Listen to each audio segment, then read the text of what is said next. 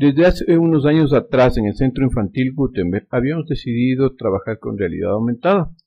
Para esto investigamos varias herramientas y es en este año que encontramos Aumentati, tanto la sección de autor como la de viewer. Y a partir de esta herramienta comenzamos a plantearnos crear un libro de una granja Tomando en cuenta que los estudiantes no saben todavía leer y escribir, nuestro libro únicamente va a contener marcadores que representan animales en 3D, animales típicos que encontramos en la granja, como puede ser un conejo, como lo estamos viendo, o un chanchito, un cerdito, puede ser también una mariposa,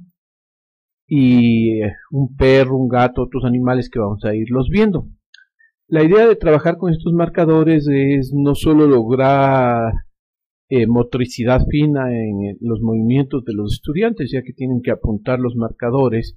hacia la cámara, como ustedes lo están viendo, y el programa detecta estos marcadores y los convierte en imágenes 3D, tan bonitas como la mariposa que podemos observar en este momento.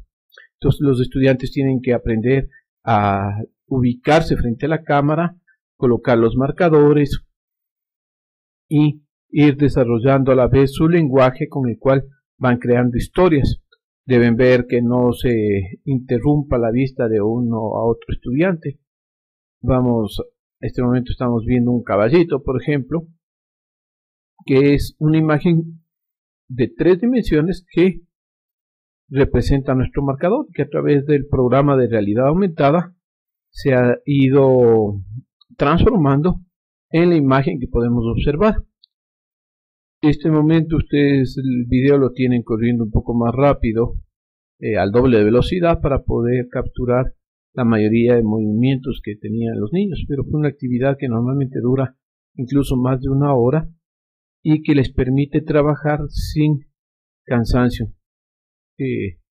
conociendo cada vez más. Les invito a ver los siguientes videos.